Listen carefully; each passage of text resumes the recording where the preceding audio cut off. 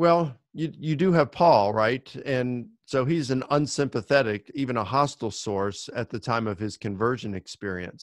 So if all of a sudden he said that Jesus appeared to him and he becomes a Christian, um, that's that's big.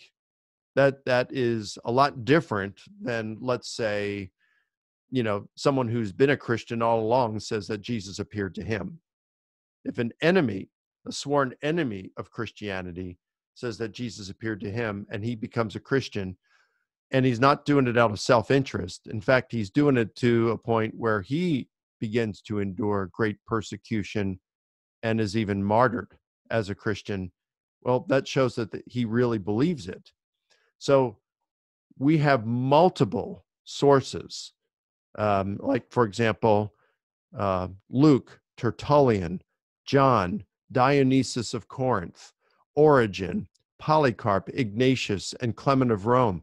All of these uh, mention how the disciples were willing to suffer and did suffer, did suffer continuously for their gospel proclamation. And we know even from some of these sources that a few of the disciples, at least a few of them, died as martyrs, like Peter, James, the brother of Jesus, and Paul. Um, we, we, we can be very confident, at least for those three. And then we, we can be fairly confident for some others, but very confident for Peter, James, and Paul. But we certainly know that all of the disciples of Jesus suffered terribly and continuously for their gospel proclamation.